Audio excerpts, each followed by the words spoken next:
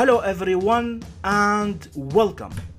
If you only know Oracle SQL and you like to continue in Oracle Database Administration path, this course is for you.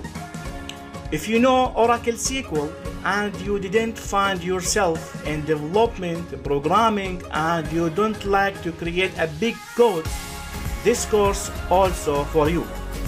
If you want to gain Oracle Database Administration Associate Certificate, this course also for you. My name is Khalid Al Khudari and I have more than 15 years of experience in Oracle Database and Oracle development. My Oracle courses in Udemy are the best seller and the highest rated. So my style is very simple.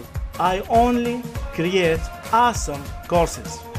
I create a content that you will never find it in YouTube or free websites.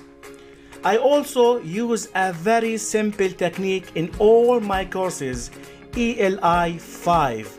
Explain like I am 5 years old. So trust me, you will understand every single lesson in this course.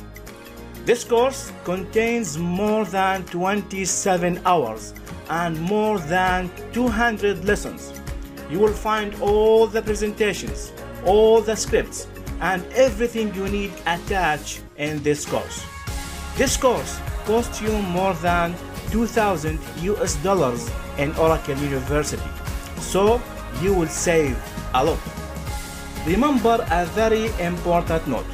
In order to apply for the exam 072, you have to pass the SQL exam first.